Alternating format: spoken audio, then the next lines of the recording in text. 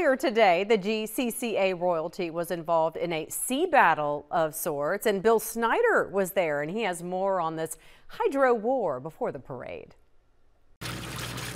Gearing up for war. This is the 2024 Gulf Coast Carnival Association royalty, including King D'Iberville, Billy Thornton, and his Dukes and the Pages.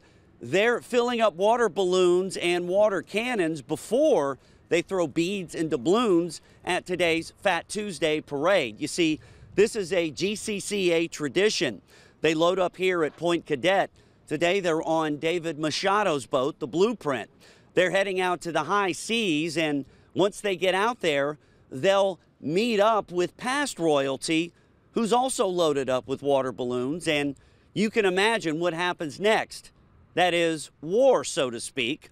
The competition's been going on for years, and I'm told in the old days, the reenactment of King D'Iberville coming ashore on Fat Tuesday meant they'd go all the way to Ship Island and come into the small craft harbor. Now they do this competition, and King D'Iberville sets his foot on soil at the harbor.